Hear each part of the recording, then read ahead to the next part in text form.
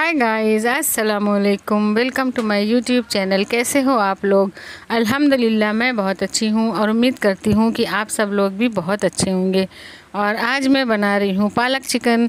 तो मैं इसमें सोया पालक मिलाऊँगी और चिकन के साथ बनाऊँगी। बहुत ज़्यादा टेस्टी बनता है और बहुत हेल्दी भी होता है। तो चलिए किचन में चलते हैं और बनाते हैं। तो मैंने एक किलो चिकन लिया था, काफ़ी अच्छी तरह से वॉश कर लिया है और बस अभी बनाना शुरू करते हैं। तो यहाँ पर हमारा बर्तन गर्म हो गया है और मैंने इसमें तेल डाल दिया है। तो सबसे पहले मैं चिकन को फ्राई करूँगी क्योंकि जो थोड़ा सा इसमें कच्चा कच्चा स्मेल आता है वो चला जाएगा। तो मैंने बस इसमें इस चिकन डाल दिया है और इसको फ्राई करूँगी।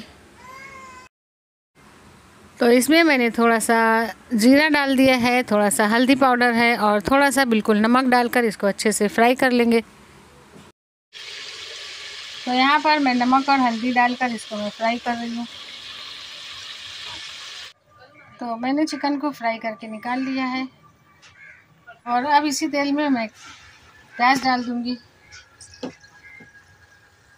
तो प्याज को मैंने बारीक चॉप किया है।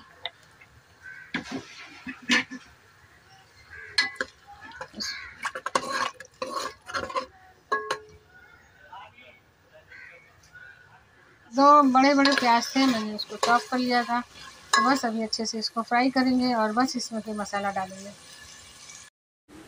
तो प्याज हमारी लाल होना शुरू हो गई है। तो मैं इसमें एक बड़ा चम्मच लहसुन अदरक का पेस्ट डाल रही हूँ और उसको डाल के थोड़ा सा भून लूँगी और फिर सूखे मसाले डालूँगी।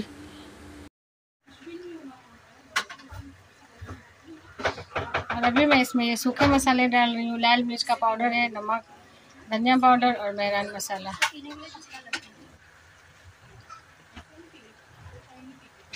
और साथ में इसमें टमाटर, हरी धनिया और पुदीने का पेस्ट भी बनाया है, वो भी डाल देंगे। और दो से तीन इसमें हरी मिर्च भी है तो इन सबको डालकर और थोड़ा सा पानी डालकर इन सारे मसालों को अच्छे से भून लेना है। इस मसाले में मैंने दो हरी मिर्च पीस कर डाला था और मसाला हमारा अच्छी तरह से भुन रहा है। तो अभी इसमें दो हरी मिर्च मैंने ऐसी अक्खी डाल दिया है और दो तेज़पत्ता भी डाल दिया है। बस अब सारे मसालों को बहुत ही अच्छी तरह से भूनना है। तो मसाला काफ़ी अच्छी तरह से भुन चुका है और अभी मैं इसमें पालक डालूँगी। तो मैंने दो बड़ी बड़ी साइज़ का पालक लिया है, दो जोड़ी पालक लिया है, उसको धो, काट लिया है, अच्छी तरह से धो लिया है और इसमें थोड़ा सा सोया भी मिलाया है एक जोड़ी। तो बस अभी इन सबको इसमें डाल दूँगी और पाँच मिनट के लिए इसको पकाऊँगी। थोड़ा सा ये सॉफ्ट हो जाएगा, फिर उसके बाद मैं इसमें चिकन डालूँगी। तो पालक काफ़ी सॉफ्ट हो गया है और नीचे चला गया है तो बस अभी इसको चलाकर अच्छे से और फ्राई किया हुआ चिकन डाल दूँगी।